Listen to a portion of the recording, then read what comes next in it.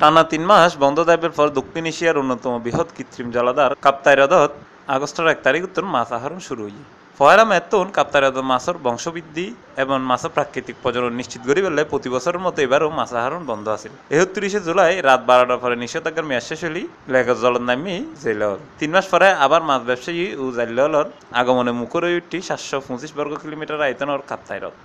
সকালে রাঙ্গামাটির বিএফডিসি মৎস্য পরিবহন ঘাট দায়ের দেখা গিল বুট ছটাত্তন কাপ্তাইরদত বিভিন্ন স্থানত্তন মাছ আইন শুরু হই প্রচুর পরিমাণ মাছ পা গেলেও সাম্প্রতিক পাহাড় দশার কারণে পরিবহন সংকট লইয়ে চিন্তা আছে মাছ ব্যবসায়ী হল। তবে মৌসুমের প্রথম দিন দিন মাছের আহরণের চিত্র দেখে তারা খুব খুশি। এখানে দিয়ে কাপ্তাইরত ব্যবস্থাপনার দায়িত্ব থাকা বাংলাদেশ মৎস্য উন্নয়ন কর্পোরেশন হইদে এবছর গত বছরের তুলনায় আরও বেশি মাছ আহরিত হবে বলে ধারণা করে তারা।